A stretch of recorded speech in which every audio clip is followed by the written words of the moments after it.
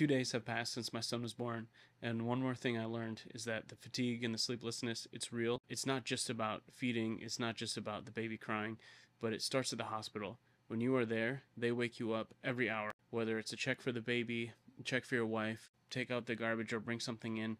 There's just constantly, constantly people coming in.